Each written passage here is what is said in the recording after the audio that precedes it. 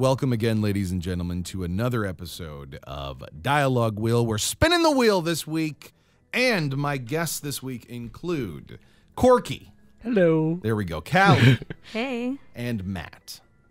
Oh hi. He turned off his mic. yeah, spoke. don't I, I figured it out. I got there. Uh, yeah, so Dialogue Wheel, for those that are not familiar, if you're new to the program, it's a show where the world of arts, business, and the culture of gaming collide, and we take one really complex issue that people have written books and books about and distill it into one easy to consume thesis. And this week, we want to teach you about some really poisonous words recurrent consumer spending opportunities. Mm.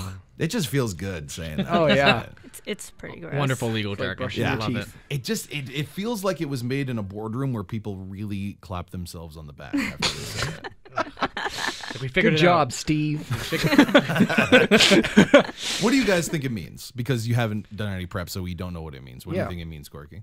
It means uh, you keep spending money There we go. and money and more money.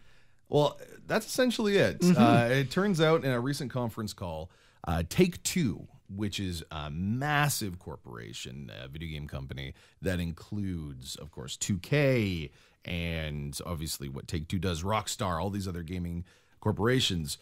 The game company that made such incredible single player games like Bioshock is now saying they will only make games that have recurrent consumer spending opportunities. On this conference call, the CEO, Strauss Zelnick, who we've done shoutouts for a lot. What's up, Strauss?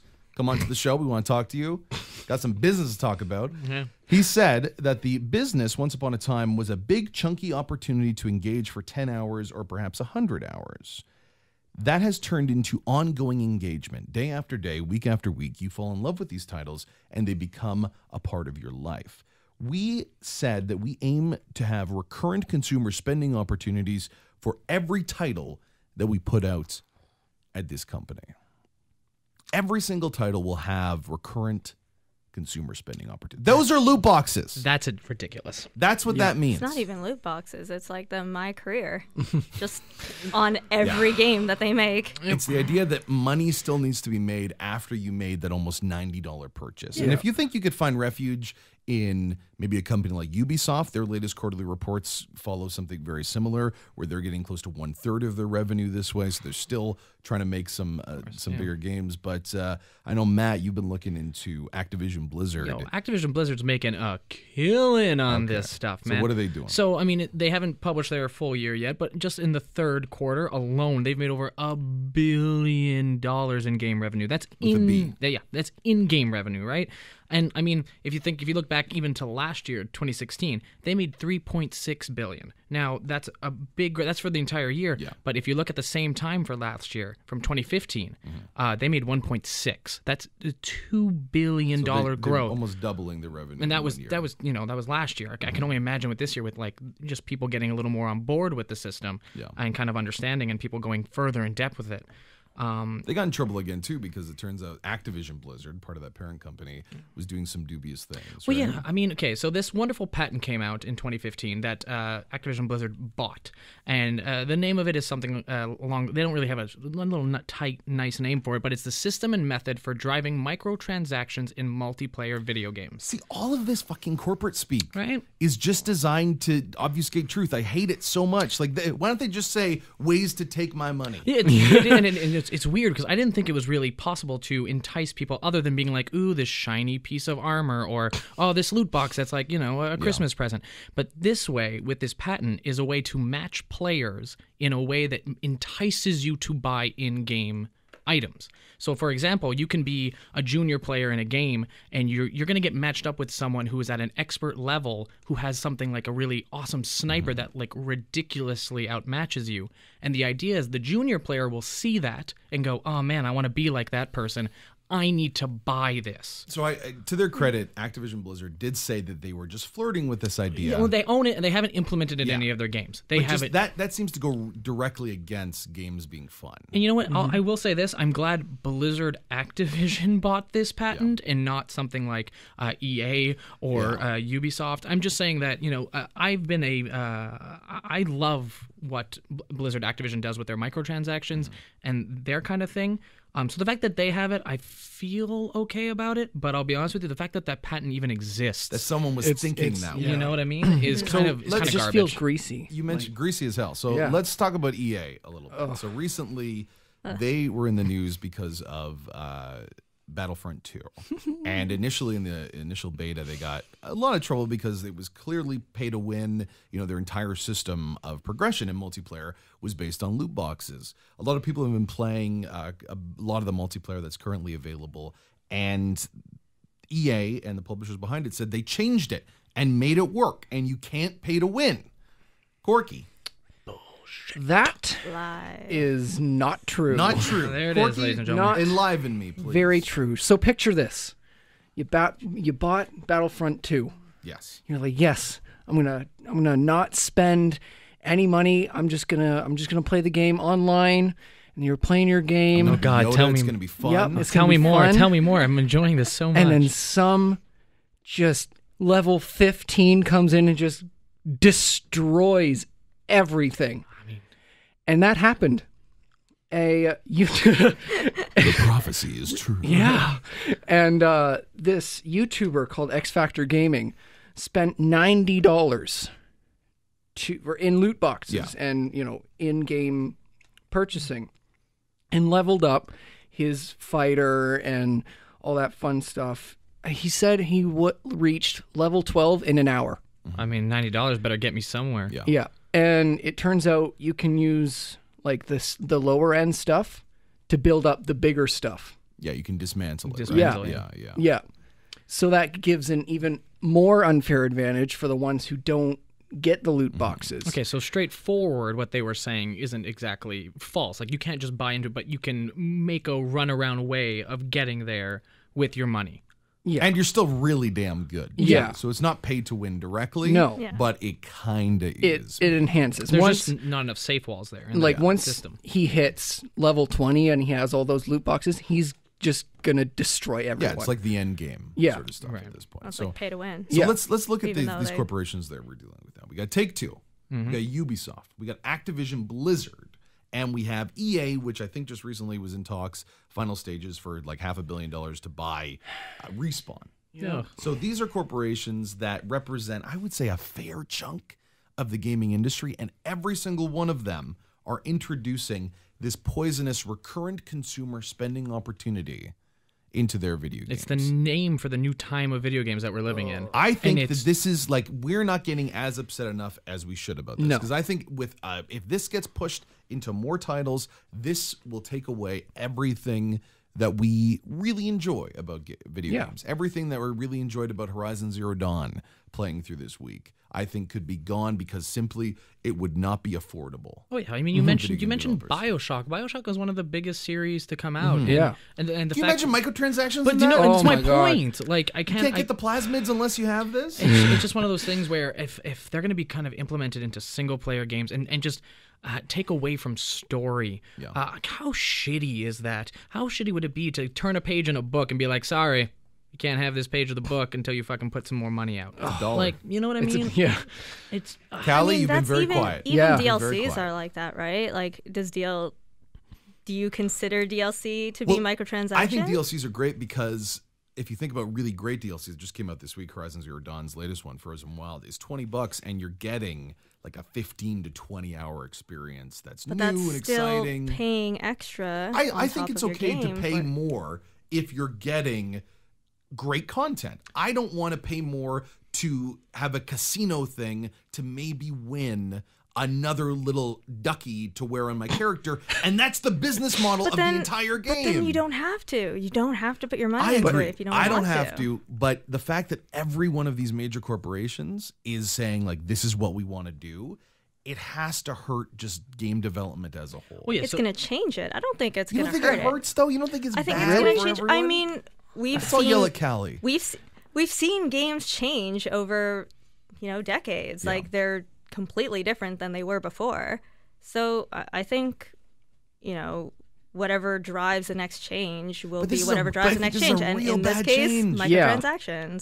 Like I don't think it's always a bad thing. Like it lets you fund the game. Um, you know, you have free to play games Mm-hmm. that are completely funded by people who just want to buy clothes and duckies to put on their characters. shouldn't Oh, it, shouldn't it, but shouldn't it's, it, it's, it's sorry I'm, i just Oh, it, it's one of those things where that can work on free to play games and i think that's a, a wonderful way of looking at it but when you buy a game like in uh, 2k18 and the my career mode like Callie is going to do because she's a big fan. Oh, yeah. no but i'm just saying that if you buy that and something like getting a haircut in in the um, my career section is now a microtransaction like that's something that should be in any customization of character mode You know how NBA players like their haircuts. I mean, uh, haircuts, why- shoes. I mean, come on. bullshit. and that's why it, it has to be done right. And I think But why do the idea that we have to accept it? I think is something that we need to consider here. Like we don't Yeah. need just because one company is doing it because it made the money doesn't mean we have to accept it. We can go back like Horizon Zero Dawn. I think is the game of the year. I keep bringing it up because it has sold a shit game? ton. Horizon Zero Dawn. What, Just so y'all know. what, what game? Yeah, I'll say it again. I'll say, I'll keep saying it. They don't pay me much, but they still made a lot of money, and they still made a AAA title, and they didn't have to do any of this sort of dubious kind of player addiction things. It's also gambling too. Like I don't want to get little kids ready to gamble, and that is their acceptance and introduction to the video game industry. Yeah, and the the thing is, shouldn't shouldn't a game be able to fund itself by how good it is, not needing those microtransactions to keep it alive? Well, sometimes the games want to continue to grow. I mean, we didn't even know, like, I don't, um, maybe they did. I don't know. I don't know if they originally wanted Destiny to be what it is now, but it grew God, over not. time. it changed as it evolved for like two years, and, and then they released Destiny 2, which is almost like they just fixed all the things. But I've never That's- liked opening a loot box though. Has it ever been like a good experience? You know it has. It, it- I love- Everyone's a booster junkie. Come Oh, on. I love- why I do you I think why do you think there's so much money in Magic the Gathering? It's because oh. people are well, obsessed that's with the opening game. that. That's the whole point of the game. Like we don't have the fact that we're comparing Horizon Zero Dawn, all these other great titles that are beautiful stories, to gathering Pokemon cards. like they're, they're two different worlds. Yeah, no, they are, and, And- uh, you're talking about two different setups in games, and like you're saying, let's go with this one and scrap the rest. Yes. okay, Absolutely. and that's great. But the thing is that they both exist. There's no They don't have to. but um, but they do. And the thing is that we're talking with our wallets here, as you can tell, in things like a billion dollars in in-game revenue. Are you kidding Yeah. me? Like it's gonna be here, and hopefully it'll be a fad where things like you know season passes, like every game had a season pass. You know, like, like what two years ago? Well, they still push them. They're They, not- they do, not but they're the not like it's like in the world. everything had one. And like back before that was subscription. So you guys don't think this could destroy the video game industry? I think that we're gonna get games if this continues. We're gonna get games like Destiny One, where they're gonna launch a game that's not finished, that's What about, not what complete. about Anthem? Is a great example. If you guys know, it's the mm. BioWare's next iteration. They've put uh, Mass Effect on hold. They might be making Dragon Age soon, but who knows? But they're spending a lot of time on money on this open world Destiny clone where you can fly and swim. That game is going to have microtransactions, and it could be it could have that same kind of Destiny issues of not being a completed game. This is a company that made some of the best single player I stories don't know. I in the think world. Anthem looks like it's going to be great, and if it has microtransactions to Oh! fund its It growth, I don't think that that's wrong. Like, you're Would you rather Anthem or an incredibly nuanced, powerful single player story? Because this is a company that used to do that. it and now depends. It money depends on how they it. want to do the game. What do you want, Kelly? I don't care about the developers. What do you want? What do I want? I don't know. I just Tell want me more what you want. Mario. Okay, Mario's a great example. Mario's a great want all example. my moons. Nintendo took Moons. years to make Odyssey, and it's getting tens across the board. People are saying from your little kids to adults, everyone loves it. There are no microtransactions to get a different hat or to make sure that you can access a different area, hmm. and they don't have to make iterative titles every year. Like I think, what if microtransactions came into your Mario? Would you feel jaded? I it don't would know. it would depend because because it came into my Mass But the Effect, thing and is, now I'm crying. even even You did get even that- you did Mario get that has really- evolved. I mean, look at Mario now. You there, where are the mushrooms? Where are the we got something off camera. What What are you saying off camera? Amiibos are basically microtransactions. Okay, Oh, you know what? amiibos are the collector cards. It's a little bit different. Yeah, it's, I mean, it's I have far. them all. Yeah, no, right? And like before Amiibos, you had the fucking uh, Spyro um, Yes. Skyland, Skylanders. Skylanders, Skylanders. which were like I I was working at a at um, a place in Quebec at the time called uh, Microplay, and Microtransaction play, probably.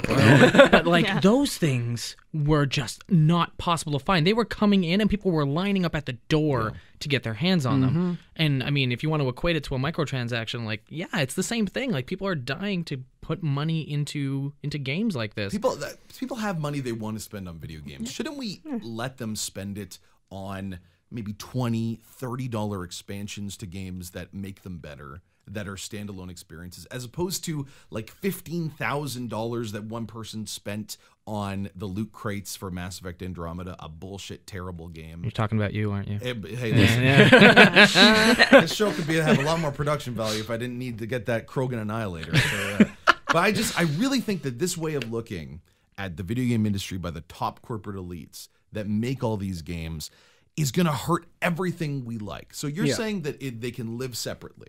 I think they can, and if if we're smart and and if people pay for what they want, uh, one will one will fade out, one will. No, and I think capitalism doesn't work. It's not going to work here. no, I just I just want to believe that if we're angry about something, that we'll do something about it. And I understand that might not be how the world works, but like if you if you're like, no, this sucks and this is stupid, then don't put your money there. It's a simple, especially since the companies are working off these numbers and they're doing it because the numbers are growing. But you and I, and even if everyone in this room decided we're not going to buy the latest, greatest games, that's not going to make a dent. That's not going to change it. No, it won't be. That's it. So, it's got to be like a movement. Callie, it, just humor me for a second.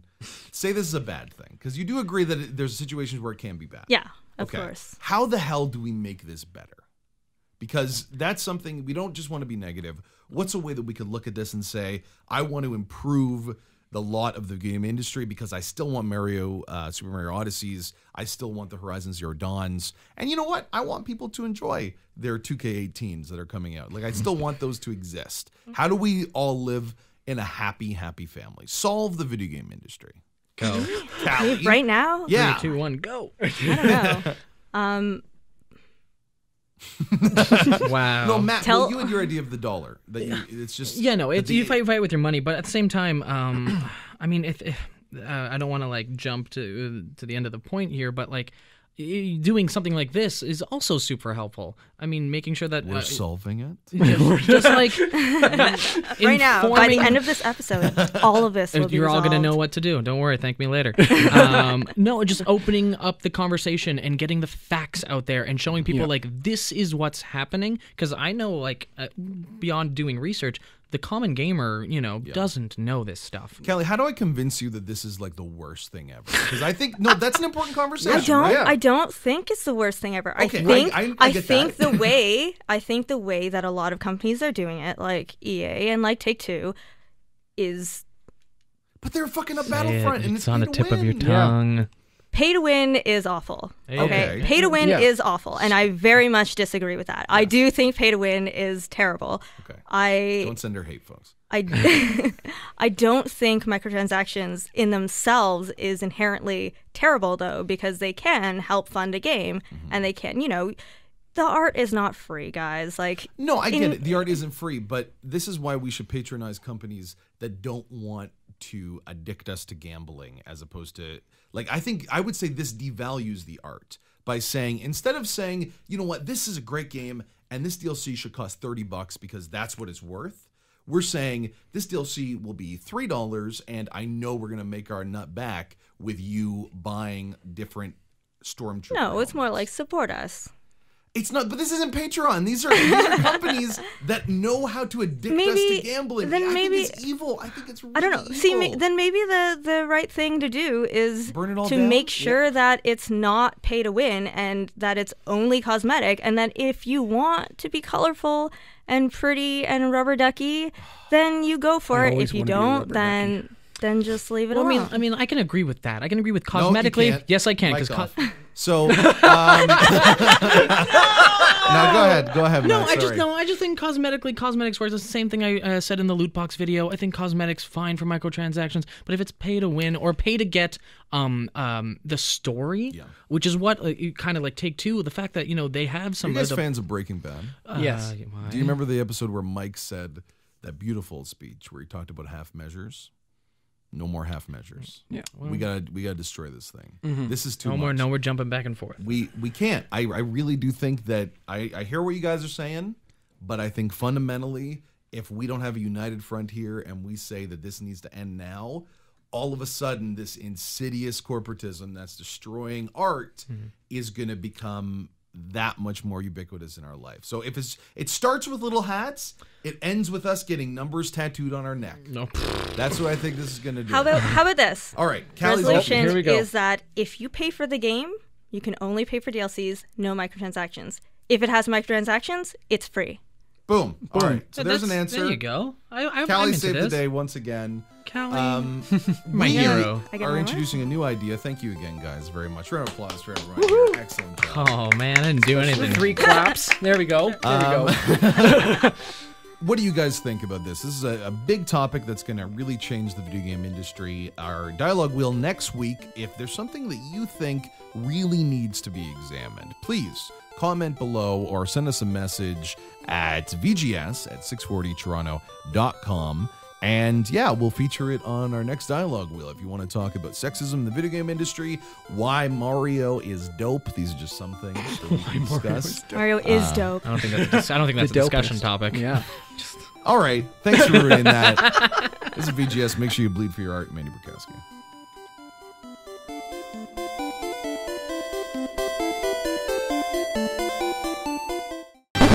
Without a doubt, the worst episode ever. Rest assured that I was on the internet within minutes, registering my disgust throughout the world.